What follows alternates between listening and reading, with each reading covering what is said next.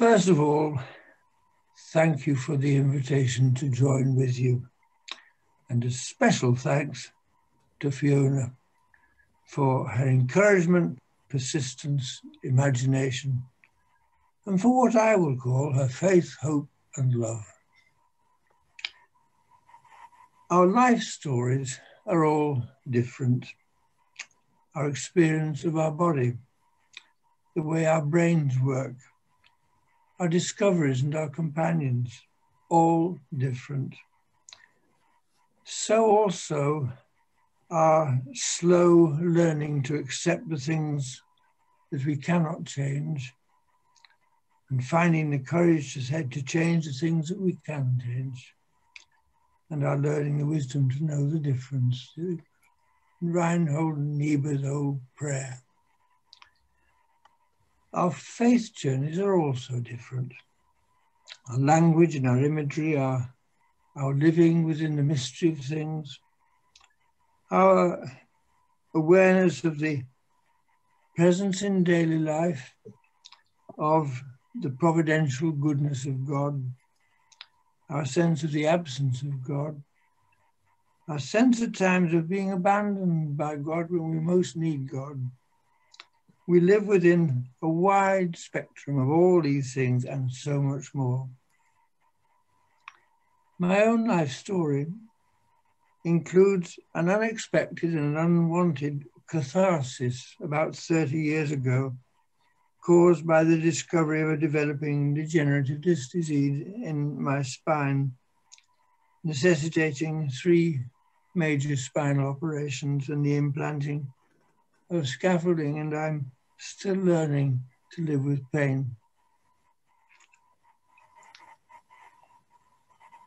My faith journey went into meltdown, the understanding of the nature and ways of God, the way of living, what I thought to be a lifelong vocation.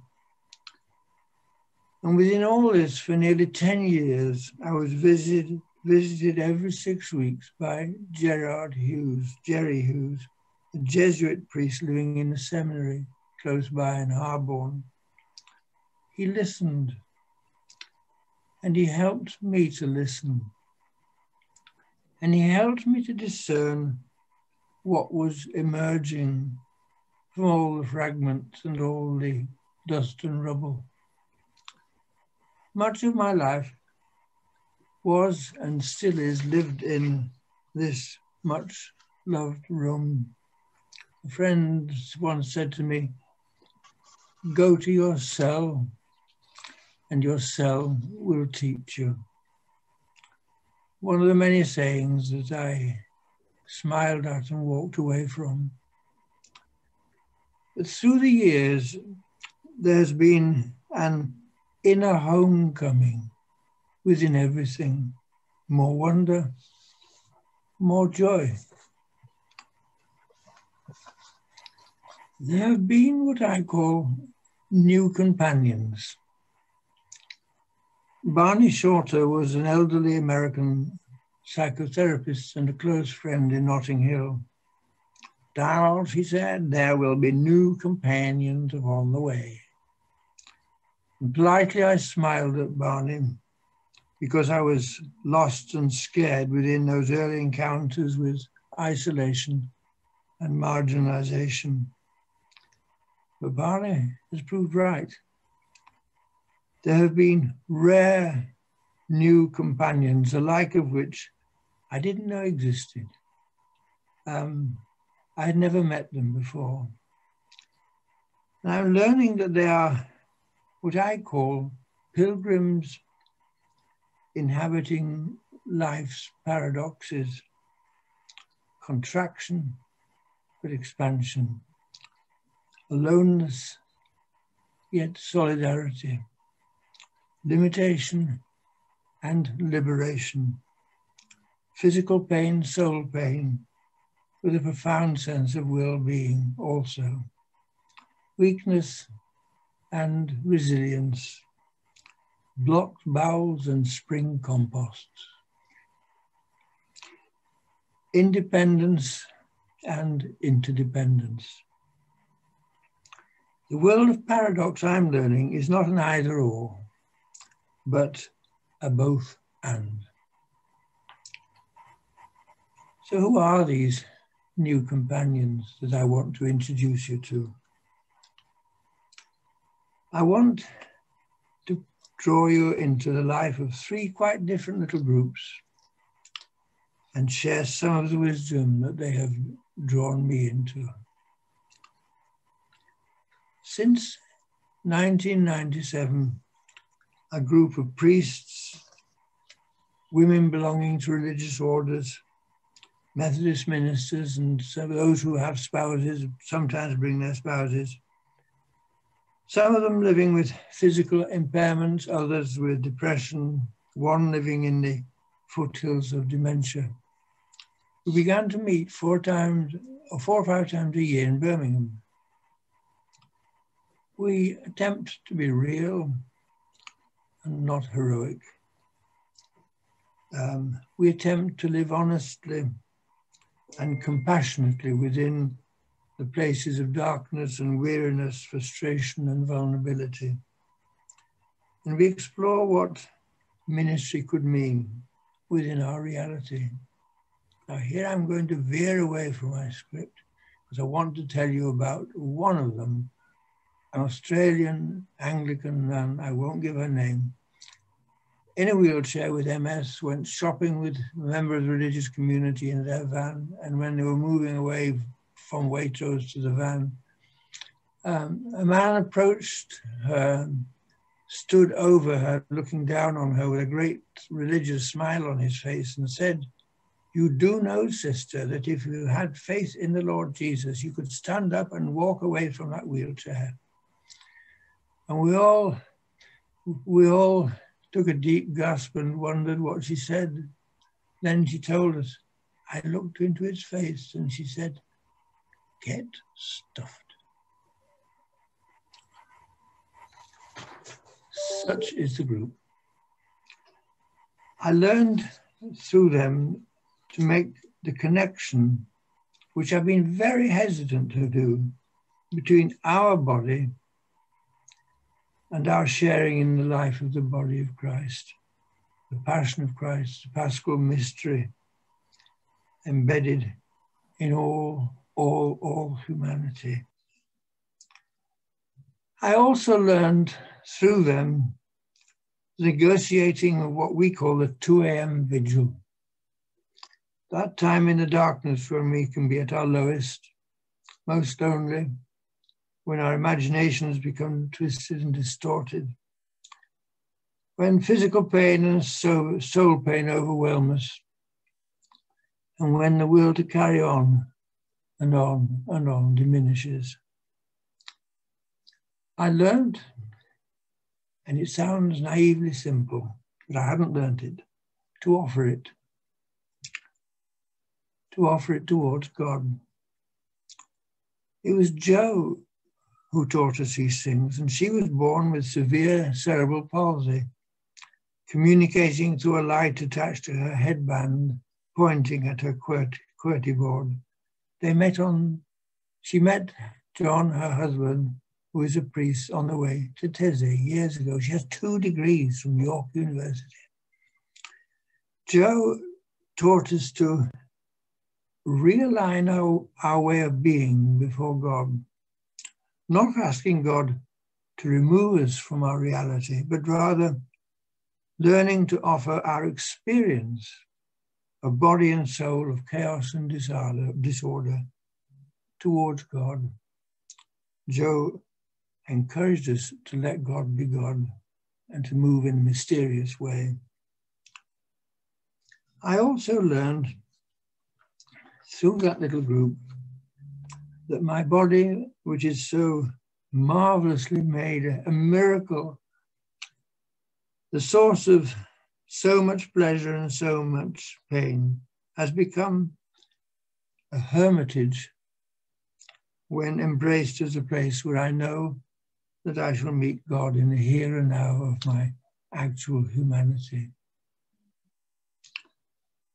I remember listening to a South African nun who carried significant worldwide responsibility in her religious order, traveling all over the world, and also bearing much pain, physical pain and soul pain. She said, The passion of God in the world is carried not in abstract ideas, but in our human bodies and souls, in our willingness to absorb evil, suffering, and shame willingly. That's the first little group of companions, and we still meet, though we haven't managed since COVID started. We keep in touch.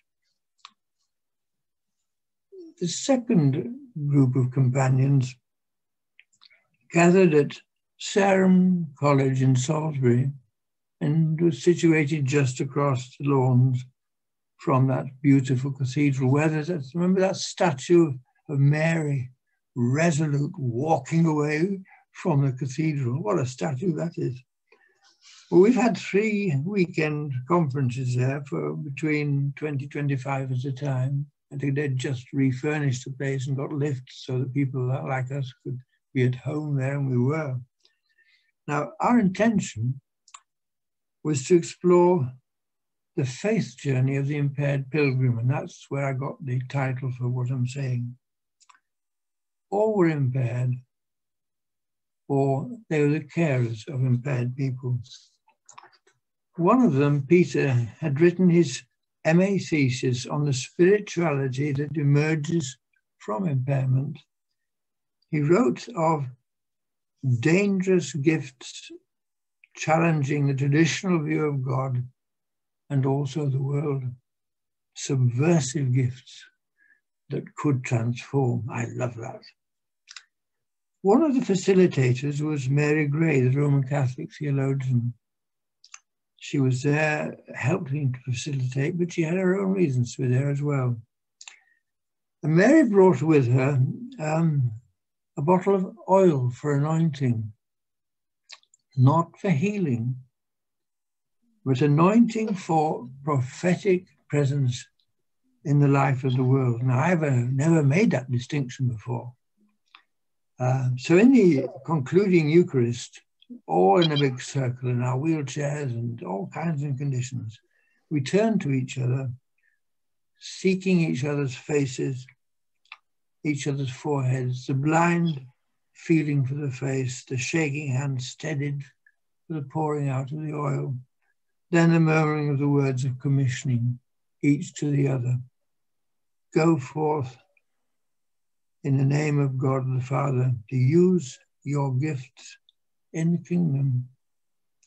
Most of us have never been to a commissioning service such as this before or since. It was always sends shudders down my spine to remember it. it. It was it was beyond our preparing. It happened. This experience brought to my mind being offered the sacrament of the anointing of the oil by the other high Anglican chaplain in the hospital following my third spinal operation. And the Christian tradition from which I come, uh, this practice is unfamiliar. I've never encountered it before.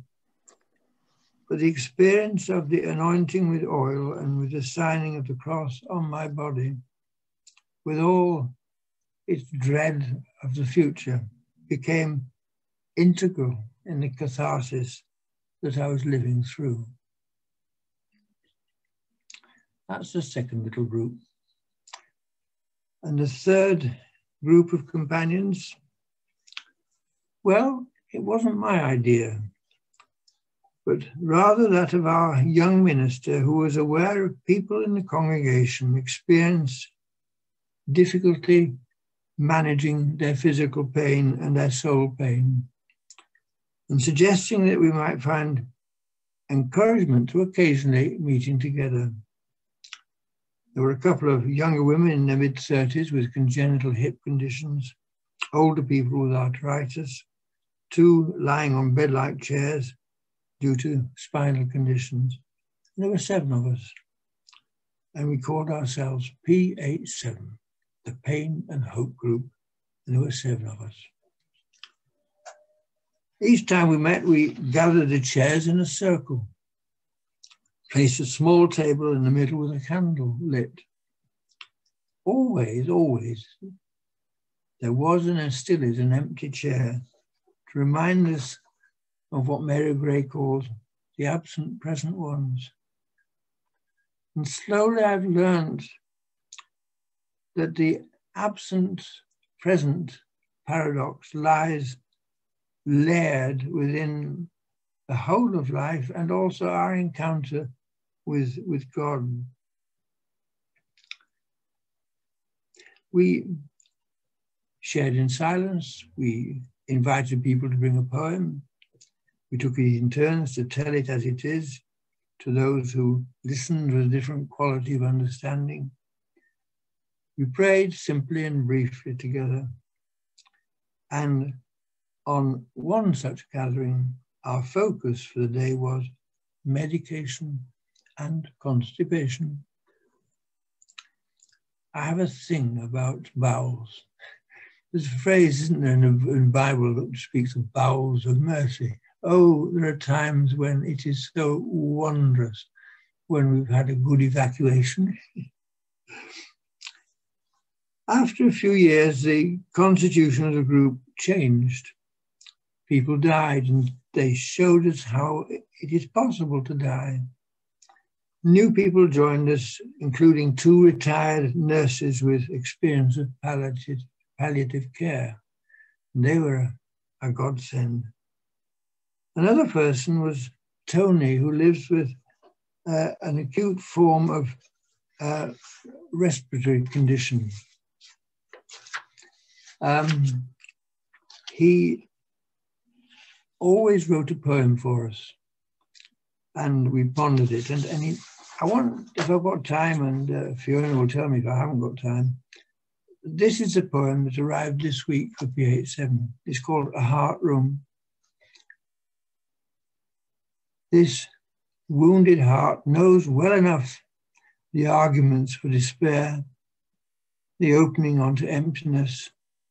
It questions, doubt, trembles, but somehow also trusts a stubborn red refusal.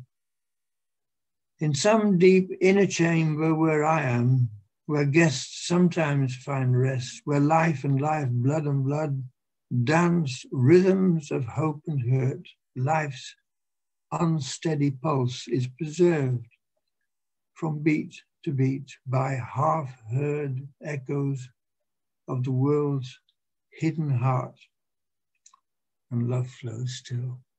I love that image of the, the half heard echoes of the world's hidden heart.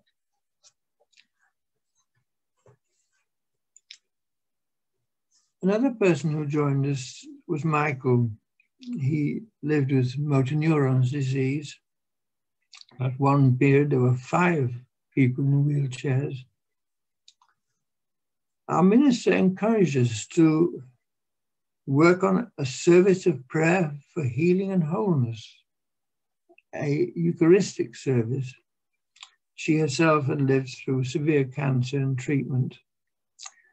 And one of the things which, because ours is a big church, a big congregation where people come forward to receive the elements, but what the group wanted was that people didn't queue forwards. They actually queued backwards to what is known in the congregation as Croc's Corner or Crook's Corner, where people in wheelchairs and uh, and um, and there waiting for them were um, Gordon, who has MS and who was a lecturer in university, and Michael, um, both wheelchair users with um, bread on their plate on their knees. And they became the ones who looked through our eyes into our souls and prayed with us, the body of Christ, keep you in eternal life. It's somehow this affirmation that we were opening ourselves to a path of, of transformation and that um, we were being drawn into the mystery of belonging to the marked rising body of Christ. During the two years Michael was with us, um, he was helped to prepare some articles. And in one he wrote, Our discipleship is not necessarily a journey from darkness to light, but sometimes seems to move in a complete opposite direction from the known to the unknown from the clear to the unclear. And if I try to relate that to my own life, I have far more questions now than I did at the beginning of my faith journey. In one very real sense, I know less and less than ever before about this God who, who calls me to follow. But in another sense, the call to make the journey is as real and insistent as ever. I have to be content to let God lead me into an unknown land, even into darkness. I could tell you stories of Michael, but I think I mustn't. Another time. So I said at the beginning that I was promised when I was most isolated and most frightened, companions for the way. And that has been the case. And I will, I trust, that will be the case until the final handing over, the letting go and the entrusting into the unknown yet merciful beyond. Michael left us with a prayer, and with this I will close. Lord, there is such beauty and anguish in your world beauty and anguish are in your heart. May we be transformed as Christ is through love and anguish. Amen.